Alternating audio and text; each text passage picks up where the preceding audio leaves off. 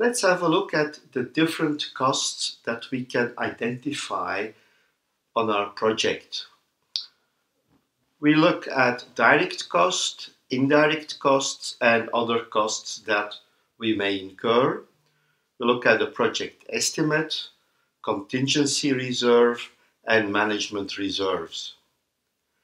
So let's start with the direct cost, indirect cost, and other. Direct costs are all costs directly related to the project.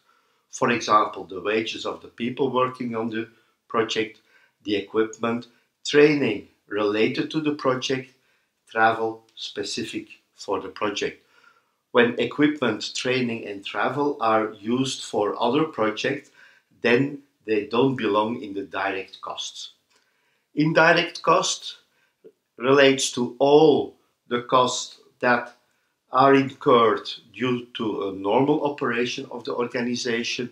It relates to human resources, legal issues, insurances, support, fringe benefits, and like I said before, it can include general equipment, training which is specific for the organization, travel for these trainings or for other meetings.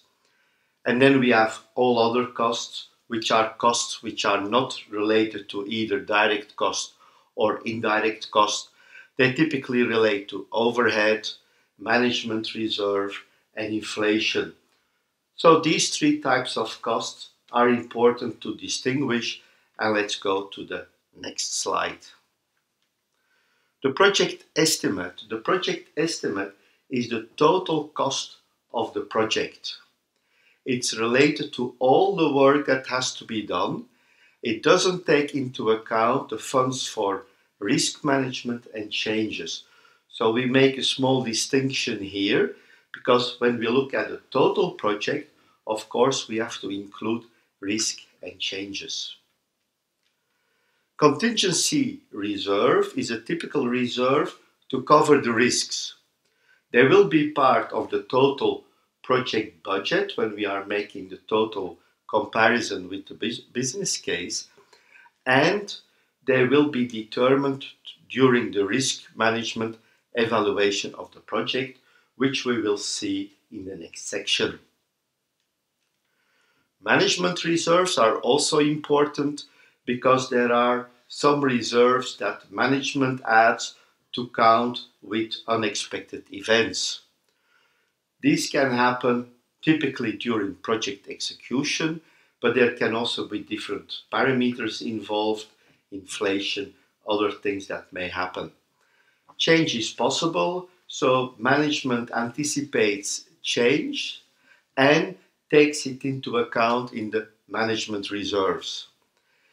These management reserves are not considered in the business case. They are out of the business case because they don't really relate to the project itself.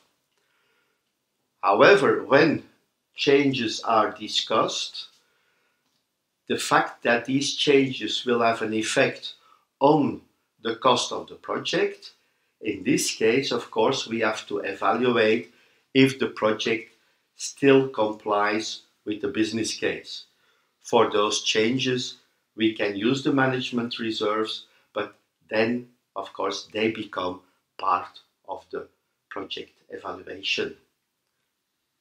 So let's get ready for the next session. See you there. We will have a lot of calculations to do, so be ready for it.